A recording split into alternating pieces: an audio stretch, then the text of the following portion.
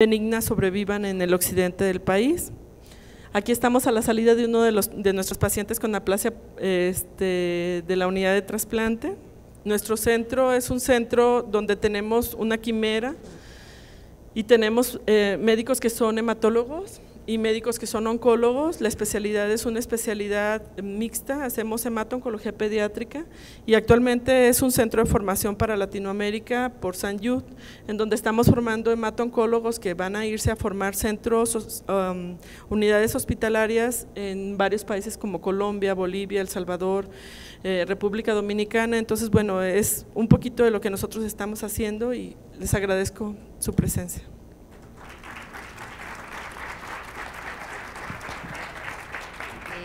Dos datos, uno histórico personal. En León en 1975, siendo R3 de hematología, recibí mi primera zarandeada al presentar un trabajo libre por el maestro Labardini, y esto lo tengo muy, muy en mente. En, el libro de memorias van a encontrar ustedes 60 trabajos de trasplante, eh, de ellos 29 están en presentación oral y 31 carteles, o sea que la productividad a este nivel está excelente. Eh, una pregunta para la doctora Montero. Doctora, una vez que hizo usted esta revisión de las indicaciones internacionales de trasplante, en un momento comentó usted, paciente con leucemia linfoblástica, cromosoma Filadelfia positivo. No hay para darle el imatinib trasplante entonces. Sí, Comenta eh, a este respecto, ¿vale la pena? O sea, trasplantar a un paciente sin haber recibido imatinib.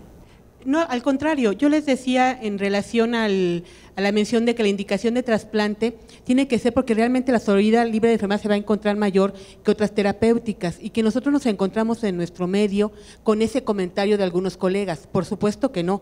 Por supuesto que un paciente de cromosoma de Filadelfia se debe tratar con inhibidor de tirosina quinasa y esquemas de quimioterapia. Eh, se deben completar sus tratamientos, dos años, se debe hacer la vigilancia y el monitoreo de la enfermedad mínima residual y la única indicación para trasplantar a un paciente de Filadelfia sería aquel que ha tenido una falla a la inducción o que tiene otras complicaciones como enfermedad mínima residual persistente.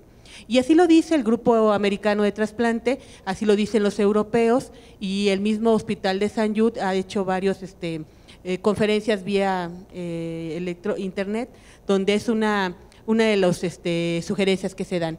Afortunadamente para nosotros, menos del 5% de pacientes tiene cromosoma Filadelfia a, nivel pediátrico. Pero no, no, no, no, no, al contrario, eso nos dicen, porque hay gente que no tiene para el inhibidor de tirosinquinasa. Sí, creo que la entendí mal. ¿Y, ¿Y, qué opina usted de la sugerencia del grupo americano de si el paciente con LAL, cromosoma Filadelfia positivo, tiene un hermano o hermana HLA 100% compatible, como la recomendación de la ALL 0031? No se debe de trasplantar.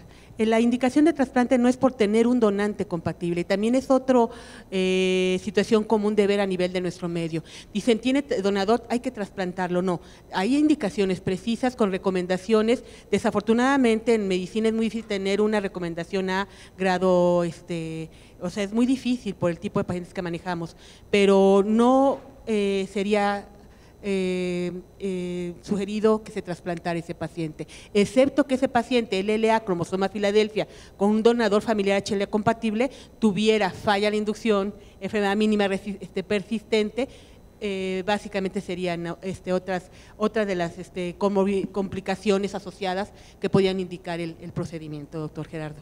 Bueno, le comento, de hecho sí se sugiere el trasplante si se tiene un hermano 100% compatible. Precisamente eso ya lo resolvió el ALL 0031 y sobre todo en su segunda revisión que salió publicada hace dos años. E hicieron un hincapié muy interesante que usted ya menciona, costos. Y para México, costos es algo muy importante. Sale más barato trasplantar a un hermano o hermana a un paciente con cromosoma Filadelfia, según los americanos, y que no se complique, que mantener al paciente con imatinib esto es algo que en México ya ha estado publicado y lo publicó también el doctor Ruiz Argüelles eh, en relación al costo del imatinib. Entonces, es probable que esto sea algo muy controversial. Cuando nos forman como médicos, no nos enseñan a pensar como administradores. Y en un país como México, híjoles, eso es muy complicado. Sin embargo, la evidencia ya está y bueno, es algo que se debe de poner en consideración.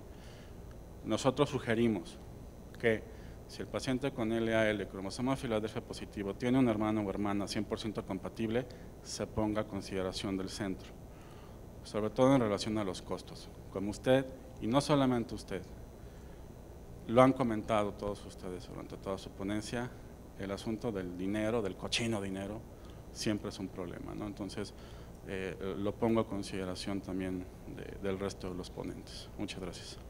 Pues yo creo que por cuestiones de tiempo no se tocó el tema de las leucemias mieloides en niños, pero, o sea, bueno, rápidamente, ¿todas las leucemias mieloides en niños se tienen que trasplantar?